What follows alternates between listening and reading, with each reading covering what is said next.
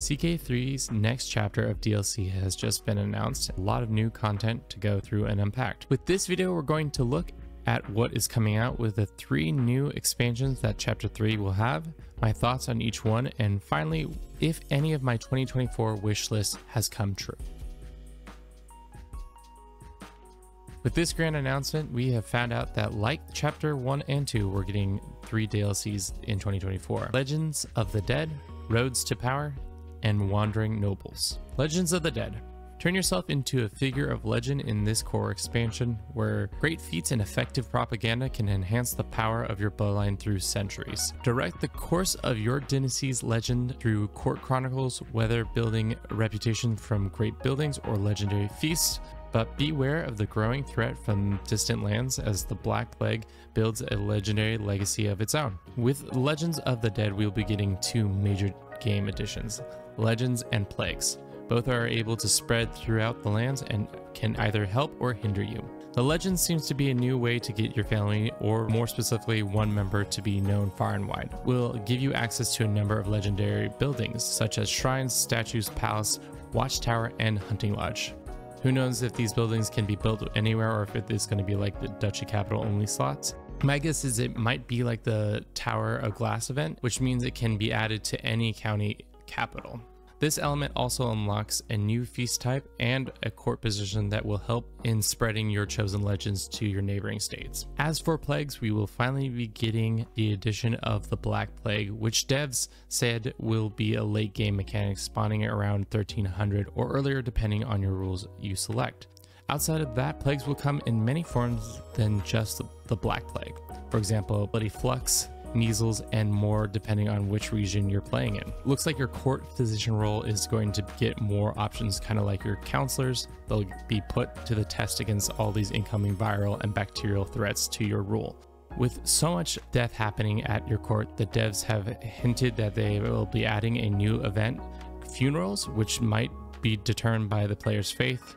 Maybe we will get that added to the faith or maybe it will be just from those couple of tenants like Sky Burial. Finally, there is a new mechanic that will affect every ruler, which is legitimacy which will be a sliding scale that represents the ruler's right to reign. What does that mean? The lower the legitimacy you have, the harder it will be when it comes to dealing with claimant factions, getting alliances, and vassalizing. Whereas with a higher legitimacy, you can get the opposite more renown, better opinions of your rulers, and easier time with factions and vassalization. My first reaction to this expansion is that it will be a fun one.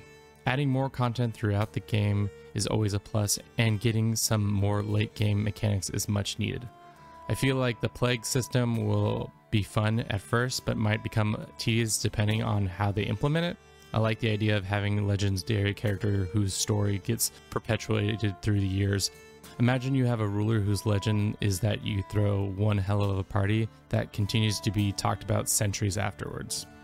Roads to Power the majesty of the Byzantine Empire has taken center stage in the, this major expansion. Rule from the Constantinople through a new administrative government form, experience a variety of new Byzantine theme events and flavor, or be truly daring and leave a life where nobles and reputation is not tied to the land, roaming the map as an adventurer for hire. The second DLC, Road to Power, was talked about to a much less degree, but will entail more Byzantine focused content, which I know many of y'all have been pleading for since launch.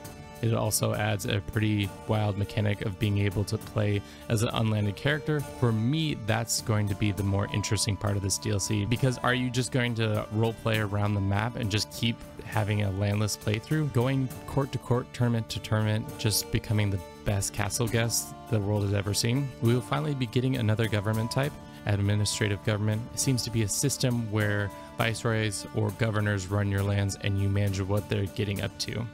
Feels like a weird mechanic, like are these governors selected from your vassals to rule over regions that you set up, or just through the de jure or duchies uh, and kingdoms. Either way, I'm interested in learning more about this as more details come out. As for my thoughts on this DLC, I could care less about the Byzantine experience, which I know is, isn't true for most of the community, but I'm excited to bop around the map as an adventurer and cause problems and spread my family legend by being the most interesting person in the world. Wandering Nobles.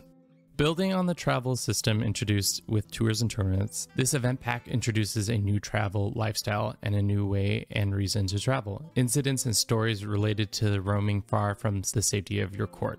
The third and maybe the smallest of the DLCs for Chapter 3, Wandering Nobles, will build on the wandering mechanic introduced in Roads to Power. It will be adding a new lifestyle Wanderer, which will allow you to pick one or all three paths Surveyor, Wayfarer, Voyager. It also will be adding more mini activities for each of these three channels, plus more travel events, which will be needed because I can see how repetitive it can get all in all, I'm going to say that this shouldn't be a standalone DLC. Really should just launch with Roads to Power. Really what they should do is wait to add the adventures with this DLC instead of Roads so that it seems more impactful. But Paradox has a much better scope of the whole project than I.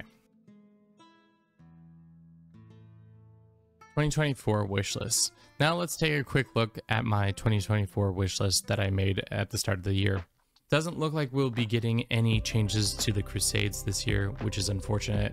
They probably could still add in individual culture tradition images with one of these patches that is rolled out. we talk of faith changes outside of maybe something to do with funerals, which makes me think shifting or adding holy sites isn't in the cards. Trade system is doubtful, especially with all the focus on plague and this new government type. Number five on our list was more playable governments, which seems to be happening with Administrative Gov, but sadly no nomads or republics. 3D rendered animals are definitely still on the table. It showed a lot of content around plague rats.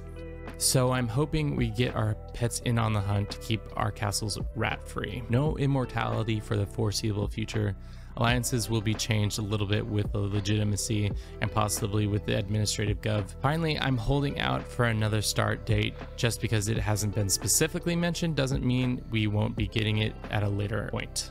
Out of the nine items I was hoping for, we have one confirmed and three maybes, which sucks for yours truly, but more content for CK3 is always welcome. My final thoughts on the Chapter 3 announcement is that I'm optimistic with the new ideas that will be coming to CK3 in 2024.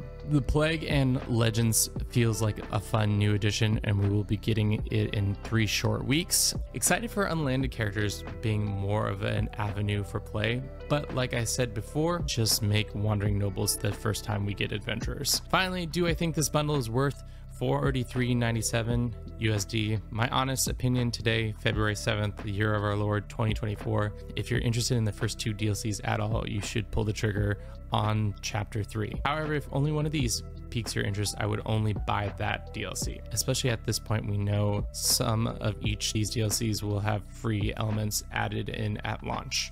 That's all I have for you today. Thank you very much for watching. If you enjoyed this video, please like it. And if you really enjoyed this video, email Paradox on my behalf so that I can get this shit for free. Okay, thanks. Ciao.